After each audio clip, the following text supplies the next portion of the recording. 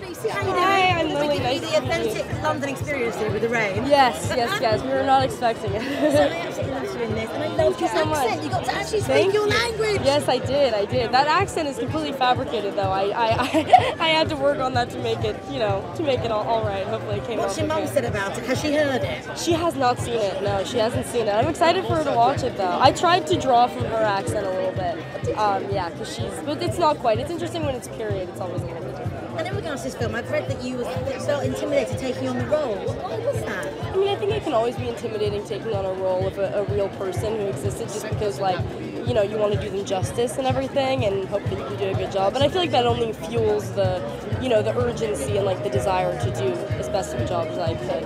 And Joel has compared Timothée to um, Leonardo DiCaprio to Johnny Depp. What do you think it is about him that everyone just radiates to? I mean, I, I, I think his, his, his, his talent is right there. His, ta- his talent is, is really unmatchable. I mean, he has incredible emotional capability, and I think he took on this role like nobody else. And the English accent is sexy, isn't it? he did a great job.